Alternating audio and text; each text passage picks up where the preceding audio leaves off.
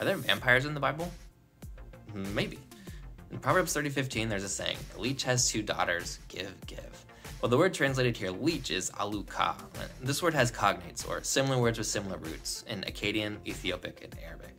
It tends to mean the small slug-like creature that sucks blood. But in Arabic, there's a cognate, aulek, which refers to a demon. We know there was belief in blood-sucking demons in the ancient world.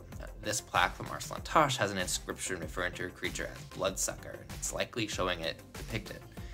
So it's been suggested this Aluka is related to this demonic creature, and in context it seems to be insatiable, thus the link with the vampire. But is the Aluka in Proverbs 30 actually referring to a blood-sucking demon? Cognate words make it possible. It, having two daughters, give, give, would metaphorically fit either vampire or leech, but elsewhere in the same chapter it talks about other animals, including small and lowly ones like locusts and geckos. So while it's possible it refers to a vampire, it seems far more likely it's just referring to the lowly leech.